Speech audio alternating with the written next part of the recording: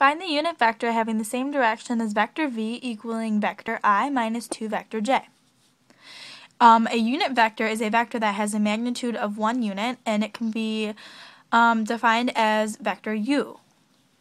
Um, vector u equals vector v divided by um, the magnitude of vector v, which that's what these little absolute value like things look like. Um, the magnitude of vector v is found by taking the square root of x squared plus y squared.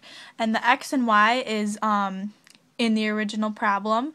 It, this is the vector v equaling x plus y. So x would be 1, y would be negative 2.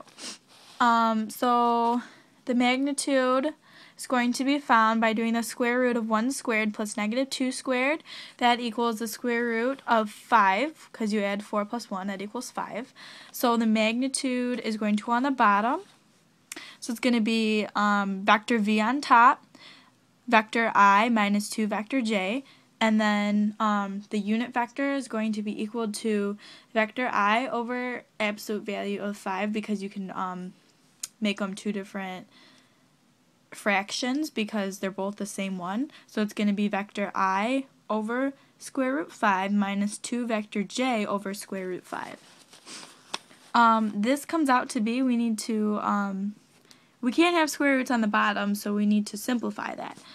And we do that by multiplying the top and the bottom by square root 5. So the top is going to be square root 5i vector i over 5 minus 2 vector 5 2 square root of 5, excuse me, over 5j. So the answer of the unit vector is square root of 5 over 5 vector i minus 2 square root of 5 over 5 vector j.